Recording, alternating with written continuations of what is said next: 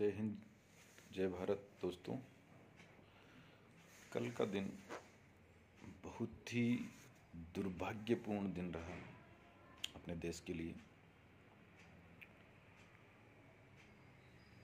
कल हेलीकॉप्टर दुर्घटना में जनरल बिपिन रावत साहब, उनकी पत्नी और अन्य तेरह लोगों की इस दुर्भाग्यपूर्ण घटना में मौत हो गई।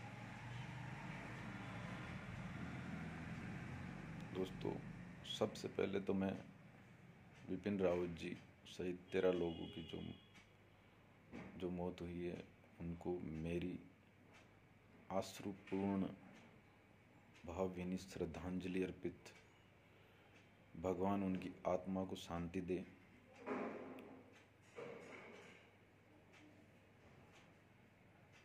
ये देश आपको कभी भुला नहीं पाएगा। आपकी जो कार्य, आपकी जो निर्भीकता, आपका जो कर्तव्य निष्ठता, देश प्रेम, देश हित के लिए जो काम किया, उसे ये देश कभी भुला नहीं पाएगा। मैं भगवान से प्रार्थना करता हूँ, परिवार को इस दुख की घड़ी में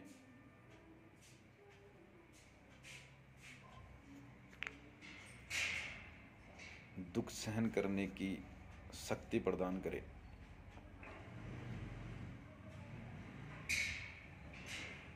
दोस्तों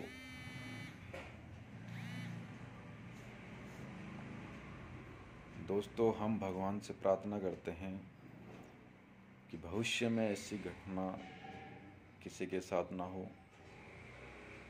किसी परिवार के साथ ना हो, यही भगवान से हम सब प्रार्थना करते हैं।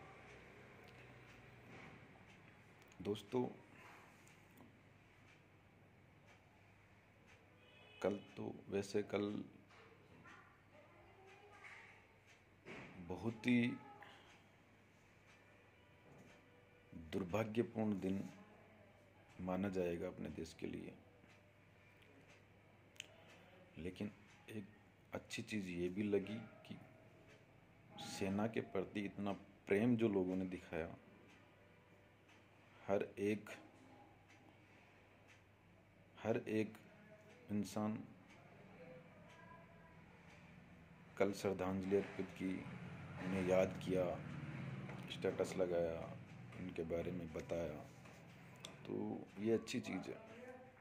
देश हित में अगर कोई काम होता है, देश हित के लिए जो इंसान ताउम्र अपनी ज़िंदगी न्यौछावर करके चला जाता है, उसके लिए इस देश के लोगों के दिलों में प्रेम होना चाहिए, प्यार होना चाहिए। ये बहुत अच्छी चीज़ है। और दुख इस चीज़ का भी हुआ कि जो ये पत्रकारिता, जो न्यूज़ चैनल्स वाले हैं, ये इतनी हद पार कर देंगे, मैंने कभी जीवन में नहीं सोचा था।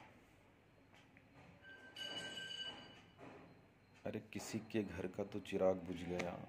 उस घर के मेंबर्स को आप ये पूछ रहे हो कि आपका, आपके रिलेशन कब हुआ था विपिन विपिन रावत जी की जो धर्म पत्नी थी, उनके भाई से ये सवाल पूछे गए कि आप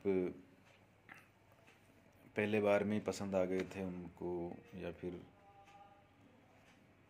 एक दो बार और देखा गया, या फिर और कहीं भी रिश्ते देखे थे आपने? मतलब एक अजीब सा मतलब मुझे लगा कि यार ये जिस समय पूरा देश गम के माहौल में डूबा हुआ है। उस समय न्यूज़ चैनल वाले सिर्फ़ अपनी टीआरपी बढ़ाने के लिए या फिर मतलब क्या बोले? कुछ तो कुछ तो बाउंडेशन होनी चाहिए इन लोगों पे। कुछ क्राइटेरिया कुछ बाउंडेशन कुछ लैंग्वेज पे कुछ बाउंडेशन होनी चाहिए इनके, या फिर कुछ इन पे रूल्स रेगुलेशन फॉलो होने चाहिए, मेरे हिसाब से। क्योंकि एक परिवार का सदस्य उनका नहीं रहा और आप ऐसे सवाल जवाब उनसे कर रहे हो तो ये कहाँ तक सही है दोस्तों? आप ज़रूर उचित सुझाव दें। अगर ये गलत है तो इसके खिलाफ आवाज़ उठाओ। अगर ये आपके हिसाब से सही है तो फिर जैसा चल रहा है, चलने दो। जय हिंद, जय भारत।